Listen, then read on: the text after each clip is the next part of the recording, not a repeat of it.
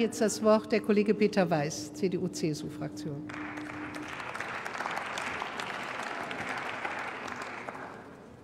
Frau Präsidentin, verehrte Kolleginnen und Kollegen! Man kann natürlich über Gesetzestechnik und Verfahren diskutieren. Dazu ist festzustellen, normalerweise wird der Beitragssatz zur gesetzlichen Rentenversicherung durch eine Rechtsverordnung der Bundesregierung festgelegt. Dann ist die Opposition überhaupt nicht beteiligt. Wir haben uns entschlossen, den Beitrag durch ein Gesetz festzulegen. Dadurch ist die Opposition am Verfahren mitbeteiligt. Und ich sehe deswegen überhaupt gar keinen Grund, warum sich die Opposition beschweren sollte. Sie ist mit dabei, wenn wir den Beitrag festlegen und kann mitdiskutieren.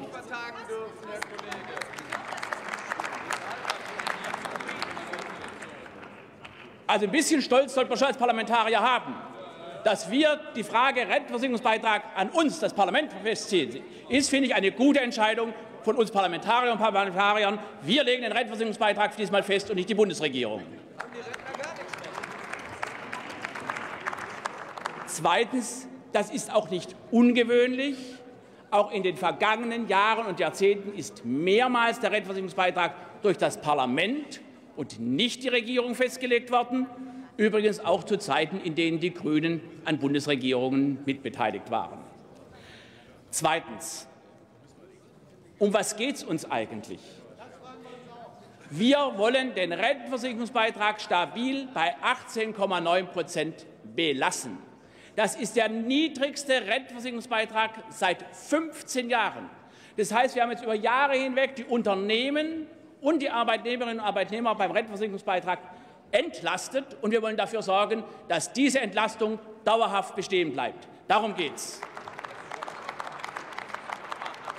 Ja, es wird niemandem etwas weggenommen, sondern wollen die, wir wollen die Entlastung erhalten. Denn was wäre denn die Folge, wenn man den Beitrag senken würde? Eine Beitragssenkung jetzt führt automatisch in wenigen Jahren zu einer deutlichen Beitragserhöhung. Das heißt, das, was man auf der einen Seite im einen Jahr gegeben hat, muss man in den nächsten Jahren wieder einkassieren. Den Beitrag bei 18,9 zu belassen, bedeutet, dass über einen sehr langen Zeitraum voraussichtlich dieser Beitrag stabil bleibt.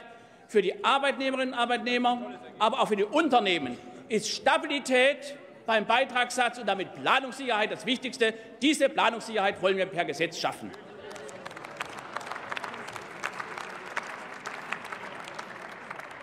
Frau Präsidentin, da streckt die Kollegin. Gestatten Sie die Zwischenfrage, Herr Kollege. Bitte, Bitte schön. Herr Kollege weiß, dass Sie die Zwischenfrage zulassen. Sie haben gerade gesagt, Sie verhindern durch das, was Sie jetzt tun, zukünftige Beitragssteigerungen. Das verstehe ich nicht ganz. Denn es ist doch ja, glaube ich, nicht so, dass diese zusätzlichen Beiträge, die Sie jetzt nicht senken, nachhaltig für die zukünftigen Generationen vorgehalten werden, sondern Sie haben doch vor, das im nächsten Jahr unmittelbar wieder auszuzahlen, um ihre Wahlgeschenke zu bezahlen. Das Geld ist doch weg und kommt nicht den zukünftigen Generationen in Form von weiteren Anwartschaften zugute.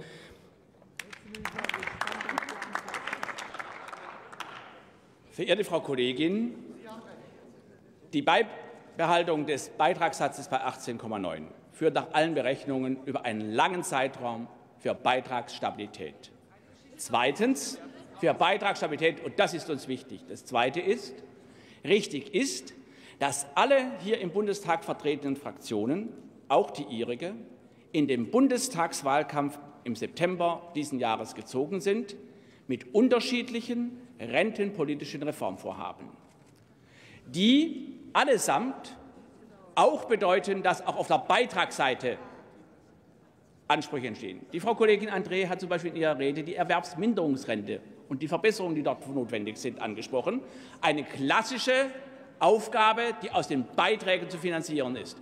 Und deshalb möchte ich uns allen den Rat geben und hätte es, würde es auch gerne den Grünen den Rat geben, wenn man in seine Wahlprogramme schon rentenpolitische Maßnahmen reinschreibt, dann sollte man nicht zu Beginn der Legislaturperiode durch falsche Beschlüsse beim Rentenversicherungsbeitrag sich die Möglichkeit, die eventuell zu verwirklichen, gleich kaputt machen. Darum geht es.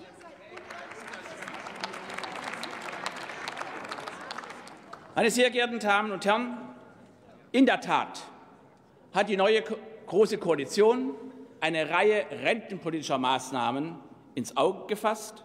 Für uns als Union besonders wichtig, dass wir die Erziehungsleistung in der Rentenversicherung besser anerkennen, auch für vor 92 geborene Kinder, dass wir eine Leistungs in der Rentenversicherung schaffen für all diejenigen, die ein Leben lang gearbeitet haben, wenig verdient haben, geringe Rentenansprüche haben, die sich darauf verlassen sollen können, dass sie, wenn sie Rente beantragen, eine Aufstockung ihrer Rente so erhalten, dass man davon auch leben kann und nicht zusätzlich staatliche Unterstützung beantragen muss.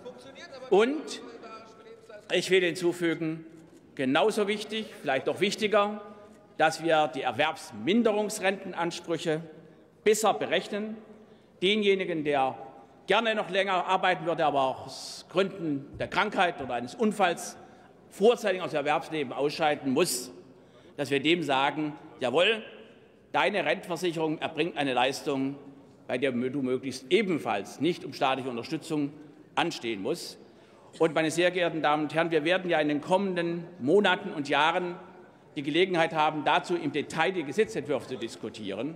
Aber ich finde, es gehört auch zur Wahrhaftigkeit gegenüber den Bürgerinnen und Bürgern, dass wir klar und deutlich sagen, dazu benötigen wir auch finanzielle Mittel. Und es wäre unklug, diese finanziellen Mittel jetzt kurzfristig abzusenken und nachher mit großen Beitragserhöhungen sie wieder reinzuholen. Und deshalb, meine sehr geehrten Damen und Herren, geht es bei diesem Gesetzentwurf um eines, wie wir tun. Stabilität und damit Planungssicherheit für die Unternehmen, für die Arbeitnehmerinnen und Arbeitnehmer. Es wird niemandem etwas weggenommen. Wer das behauptet, behauptet etwas Falsches. Und es geht darum, dass wir als Parlament unser Recht wahrnehmen, diese Frage auch per Gesetz zu regeln. Deshalb freue ich mich auf die Beratungen zu diesem Gesetzentwurf. Ich bin überzeugt, dass wir die richtige Entscheidung treffen. Und weil wir den letzten Sitzungstag vor Weihnachten haben, möchte ich uns allen ein frohes und gesegnetes Weihnachtsfest wünschen. Vielen Dank.